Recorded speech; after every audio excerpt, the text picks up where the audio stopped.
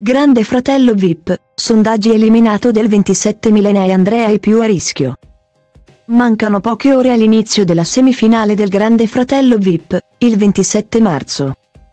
Infatti, Alfonso Signorini condurrà il penultimo appuntamento in diretta con la settima edizione del reality show di Canale 5.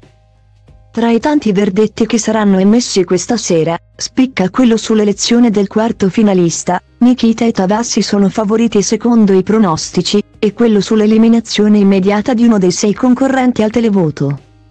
Il 3 aprile, infatti, sarà proclamato il vincitore e a sceglierlo sarà il pubblico a casa. Il televoto che il conduttore del Grande Fratello VIP chiuderà all'inizio della puntata del 27 marzo emetterà due verdetti molto importanti, il concorrente più votato volerà in finale. Quello meno apprezzato dal pubblico lascerà immediatamente la casa. Esattamente come è successo una settimana fa con Antonella e Gaele, anche stasera un vippone sarà eliminato e un altro conquisterà il pass per l'ultima puntata nella stessa nomination. A giocarsi il tutto per tutto, dunque, sono in sei, Nikita, Tavassi, Luca, Alberto. Milena e Andrea si stanno sfidando per cercare di convincere i telespettatori a promuoverli all'appuntamento conclusivo della settima edizione. Quello che andrà in onda lunedì 3 aprile. I sondaggi che sono stati aperti su questa decisiva nomination, rivelano che il quarto finalista dovrebbe essere uno tra Nikita e Tavassi, lei sarebbe favorita.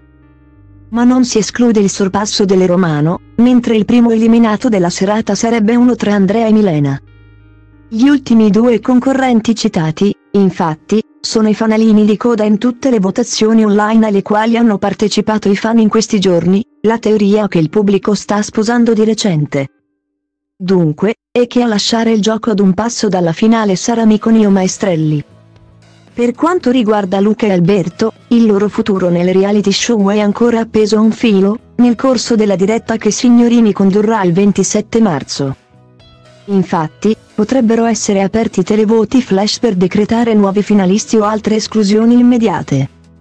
Alfonso non ha ancora svelato quanti vipponi parteciperanno alla puntata del Grande Fratello VIP del 3 aprile.